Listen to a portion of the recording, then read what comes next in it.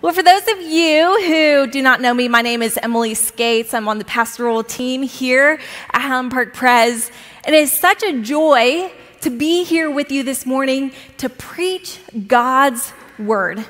And if you have your Bible or the Mark journal that we have for you, we're going to be looking at Mark 4, verses 26 to 29. So if you have your Bible, go ahead and open it up to Mark 4, verses 26 to 29. And I want you to hold it open with me as we go through this text. Because here's the thing this text is a parable, it is Jesus teaching. And he uses a parable, which, which really is like Jesus lining up a picture that we can see to describe something we cannot see. It's his way of describing the indescribable. It's his way of painting a picture of the unseen to stretch our imaginations so that we can catch a glimmer of the unimaginable light stuff, right?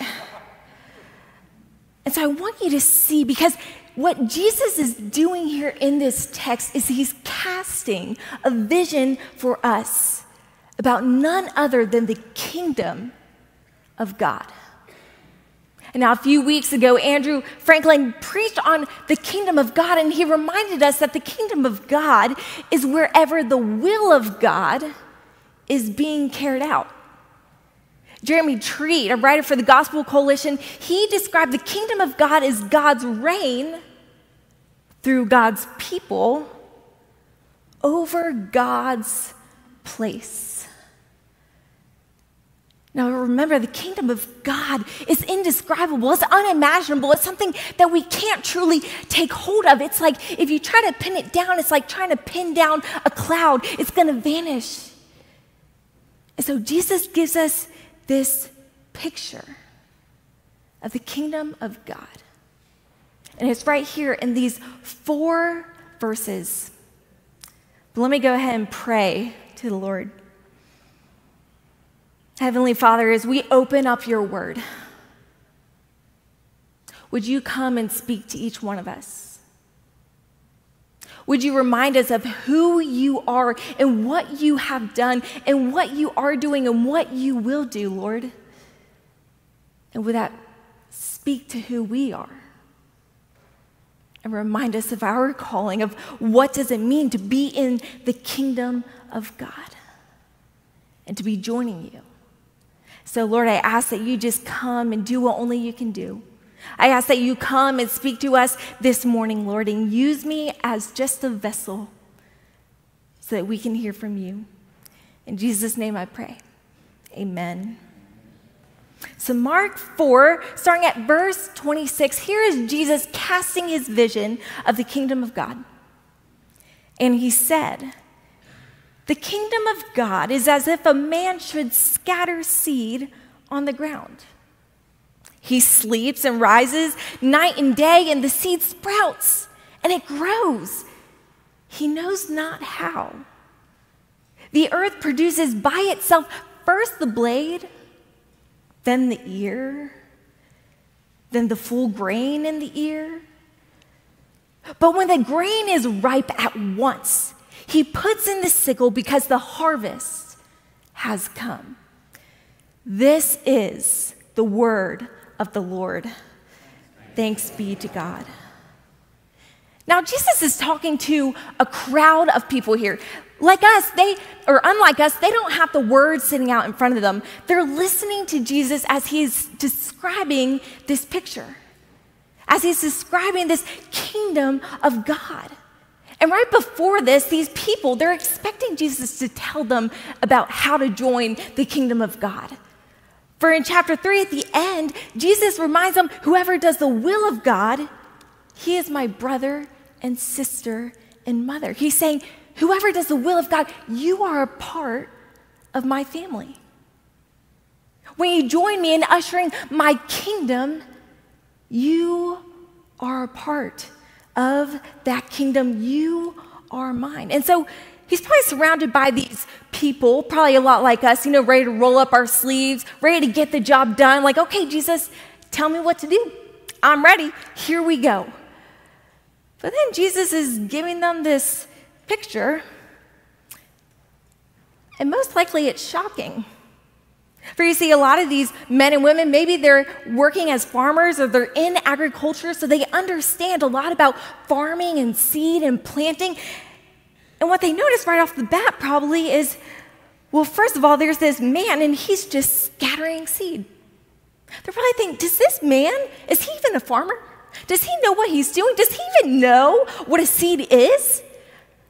I mean, come on, isn't he going to plow the ground? Isn't he going to at least dig so that the seed can go into the soil? Isn't he going to check the weather to know when to plant the seeds? I mean, I've been learning recently about how to plant, and I have to tell you, I've learned the hard way that you don't plant in the middle of summer.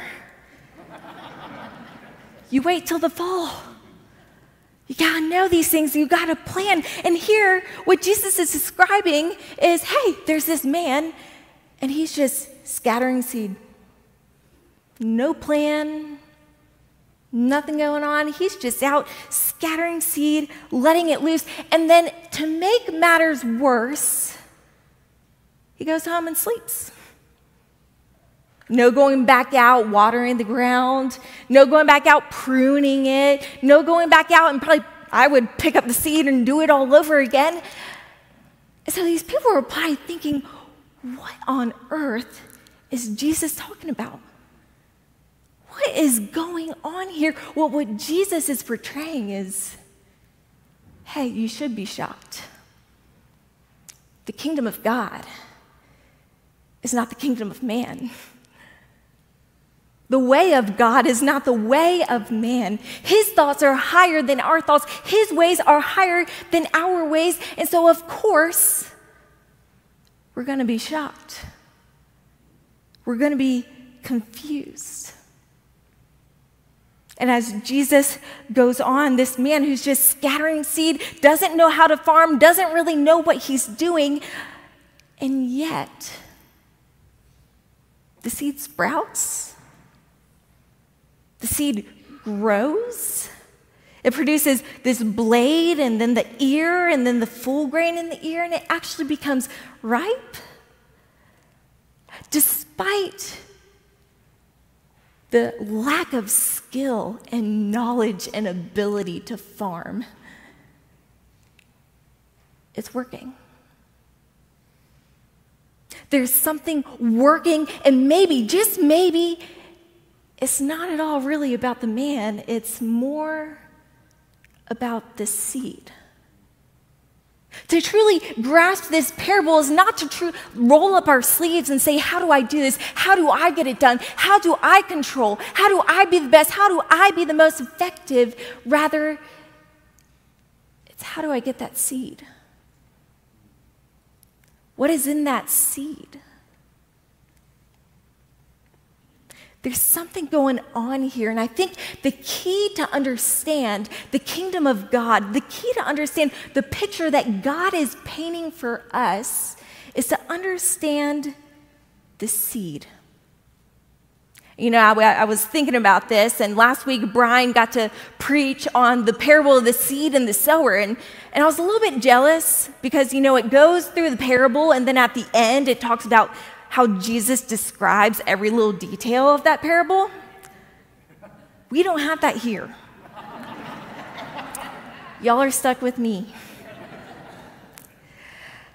And so I was thinking, well, you know, thanks, Brian. Yeah, if y'all think of something to get him back, just let me know.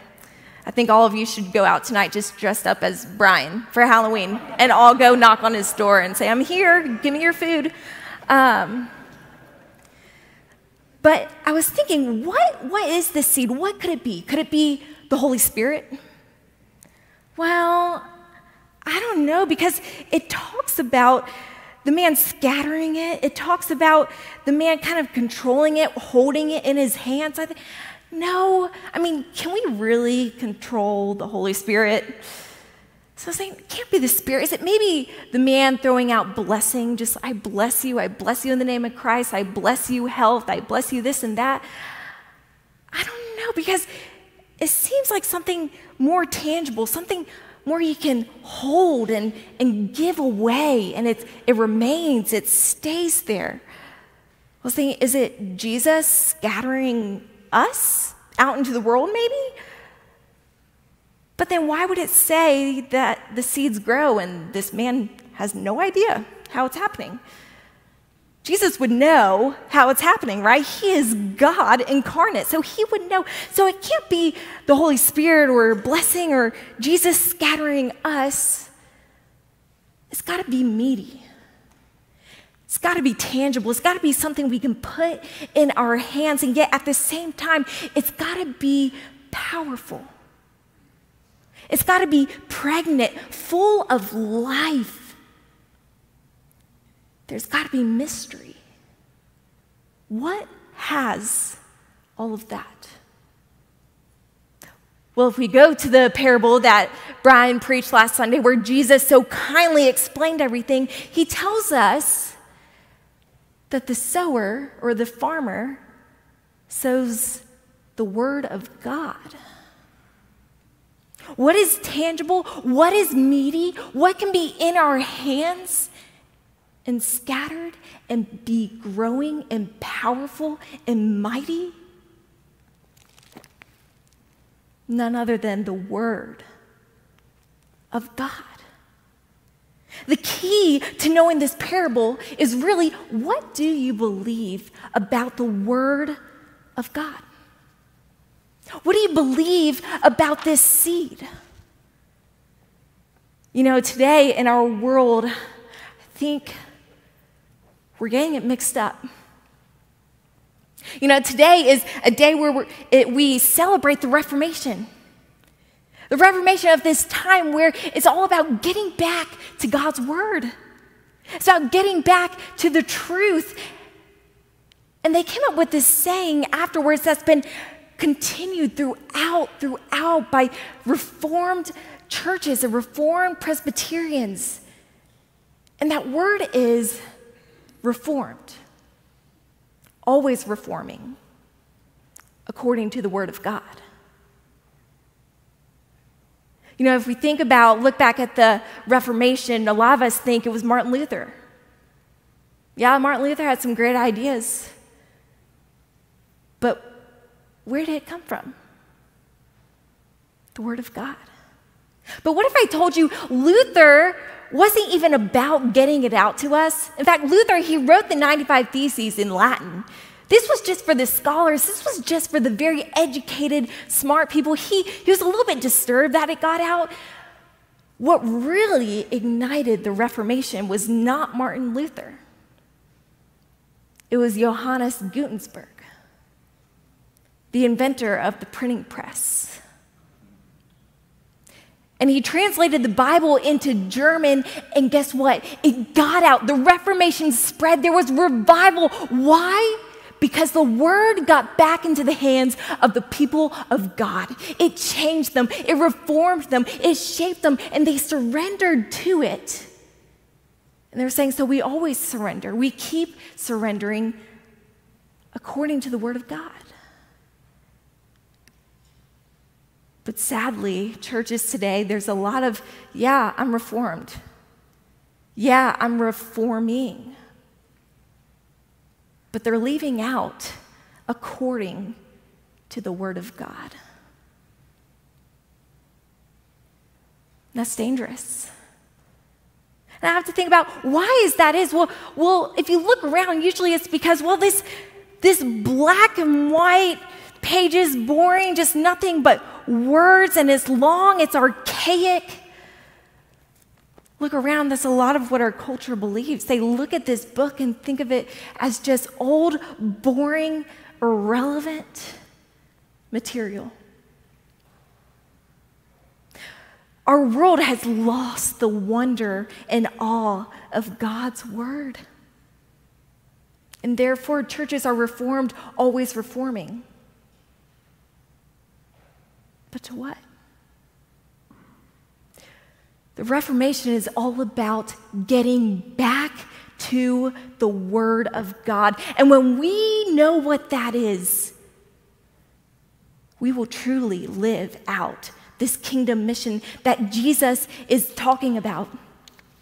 And it's not going to be some word where we think we need to prop it up, where we need to add fluff and make it look cool and make it sound trendy and make it sound powerful. It's not something where we have to add all this humor or all this narratives or extra stuff, even though that's not bad, but really the power comes from the Word of God. Here's what God tells us about His Word. 1 Timothy, Timothy 3:16 says, "All scripture is breathed out by God and it's profitable, profitable for teaching, for reproof, for correction, and for training in righteousness, that the man of God may be complete, equipped for every good work. What does God say about his word? What does he say about this book that just looks so normal, so archaic, so bland sometimes? He says, Open it up and it's my word to you. It's the word from God Himself. You open it up and you're having a conversation with God. It is God who counsels our life. It is God who shows us the way, the truth, and the direction we need to go. It is His voice, it is His counsel when we open up His word. Do we believe that? Do we believe that this is truly God speaking to us, which means it's not irrelevant. When people tell me, Emily, the Bible is just irrelevant, it has nothing to do with me, I tritely kind of remind them, mm, maybe you're not relevant to the Bible. Because the Bible is relevant. It's about God, and God is always relevant. It is His word to us. So, don't we want to get into His word? But not only that, it's not just a conversation between us and God, there's more going on. There's more than we even can imagine or realize. And we're told in Hebrews 4, verses 12 For the word of God is living and active sharper than any two edged sword, piercing to the division of soul and of spirit, of joints and of marrow, and discerning the thoughts and intentions of the heart. God's word is not just a conversation, it is God actually present with us doing things in our hearts, in the unseen, in the unknown. I mean, how do you pierce joints and marrow? He enters into the deepest part of us. He knows more than we know about ourselves, and He meets us down in the depths, down in the soil, down in the places where we to even dare go. Open up the Word of God, and the surgeon comes and pierces our heart. He comes in and does his greatest work. He goes where nowhere, no one else can. He sees what no one else can see. And he ministers to the very place we need whenever we enter into his word. Do we believe this? Do we believe this when we open up God's word? Because that's the key. If we don't believe this, well, we're not going to really care about scattering God's seed. It's not going to be exciting to go get it out to people because guess what? It's not really exciting to us. It's not going to be something that, that is needed because we don't see how it's needed in our lives. We don't see how it's going to be needed in other people's lives. So we just tuck it away. But when we do believe all this about the Word of God, what happens? We scatter the seed. We get it out. We get it out to people because it's the most important thing in the world. I mean, if you could meet God Almighty, if you could take someone that you love and place them in the seat where God comes and meets them, wouldn't you do it? You can do that by placing them in the Word of God where He meets them.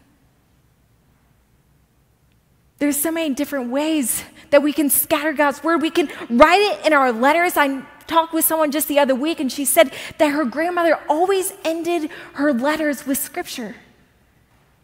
And ever since her grandmother has passed, she has every single one of those cards. And it's empowered her because her grandmother scattered the seed. But not only that, it's given her great hope and joy when her grandmother passed. Because the fact that her grandmother scattered the seed meant her grandmother was in the seed. And so she knew where her grandmother was, and it gave her hope. We can scatter the seed through text messages as we are praying prayers over to one another, as we are encouraging one another. You can wrap scripture up in a piece of paper and put it in your kids' lunchboxes. There's so many different ways that we can scatter the seed that we can let it loose, that we can let it go. That is why Jesus isn't so particular. You scatter the seed because as long as the seed gets out, guess what? It's going to get loose. No matter how you do it, no matter what way you do it.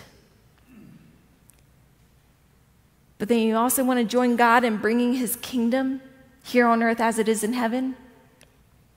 You scatter the seed and then you sleep on it. Where else can you be told that you have this huge project, this huge duty, and they say, you know what, just sleep on it, it'll happen? This is the only place in God's kingdom that we can sleep on it. And no, it's not talking about being lazy. It's not talking about scattering the seed and forgetting about it. Rather, sleeping on it was actually an act of faith. It meant I'm going to scatter the seed, I'm going to let it loose, and I'm going to believe that the power inside that seed is going to take place. That it's gonna grow, that I don't need to control it. I'm not the one in charge, rather, there is someone else in charge. You know, before I come and preach, I always have these Bible verses with me because it helps me sleep at night. Because I think, I've, okay, I've done the preparation, I've written my sermon, and now it's time to sleep because you know what? God's going to do the rest, right? Although I have to tell you, I did not sleep last night, so I don't know what that's about. Um, God's teaching me a hard lesson, doing something. But the first one is 1 Thessalonians 1, verse 5, where Paul writes, For we know, brothers, sisters, loved by God, that He has chosen you because our gospel came to you not only in word, but also in power and in the Holy Spirit and with full conviction. It wasn't on Paul to convert them. No, he scattered the seed and he knew that the power of God was at work in that seed. But then I love also 2 Corinthians 3, verse 4 through 6. Such is the confidence that we have through Christ toward God not that we are sufficient in ourselves to claim anything as coming from us, but our sufficiency is from God, who has made us competent to be ministers of a new covenant. I stand up here before you not because I'm competent, not because I'm powerful, not because I have it figured out. I stand up here before you because I know that the Word of God is competent. Not in itself, the Word of God is not just a means of an end into itself, rather, it's a means to meet the living God who is powerful. He is active through the Word. I am just scattering the seed, and He is meeting you in places you might not even realize. I believe that.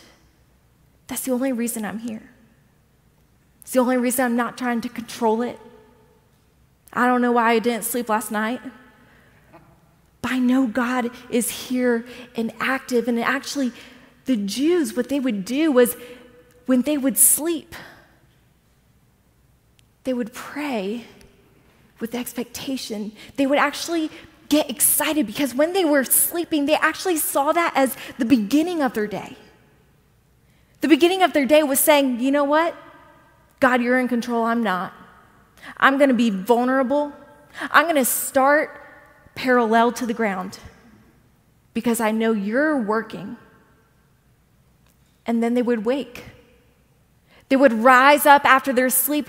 And what would they do? They would pray with thanksgiving because they would know that in the invisible, in the unseen, God was at work in their lives, in the world. And so, this sleeping and rising, it's actually a faithfulness, it's a trust that, yeah, they're called to go and do ministry, but they can sleep on it because they're not doing it alone. God's at work. God is doing it. We are just joining Him, and it's ongoing. It's ongoing. When we do this, when we live into this faithfulness of scattering the seed and going to sleep and waking, sleep and waking, expecting God to be at work, expecting God to do his thing, it's going to give us this hope, this confidence, this excitement. When God says, Who shall we send? You'll say, Here I am Send me. It's this trust in God, but it's also this humility. This is what I love here that Jesus really hones in that, you know what, we don't know a single thing. As we look in verse 27, we see the man is sleeping and rising, and the seed sprouts and grows, but he knows not how says it sprouts, he doesn't know how. It grows, he doesn't know how. But as if to rub it in, as if we didn't get it yet, that it's not us, it's God. Verse 28 starts with automatos. What does that sound like? Automatic, autonomy, by itself. The English says the earth produces by itself, but in the Greek, it's actually by itself the earth produces. Here, Jesus is emphasizing it's not us, but God. So when you're wanting to grow in your own sanctification, are you striving? When you're desiring for your, your child or your grandchild to come to the faith, are you, are you trying to control it and get it in yourself? When it comes to wanting ministry or the church to flourish? Are, are we striving and putting all the pressure on ourselves, or are we getting a good sleep at night? Because sleep means we are trusting God.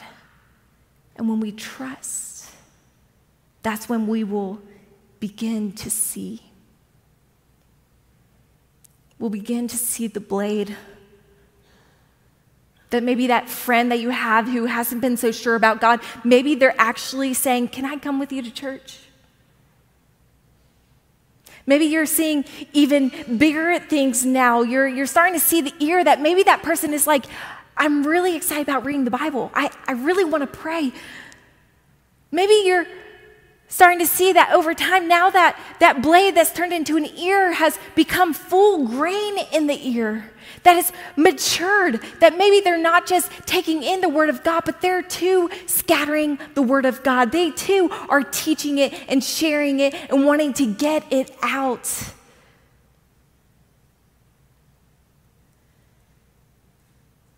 And here's the thing when we see that, we cannot take credit because we don't know how. It's just by grace that we get to be a part of it. And so it ends with humility.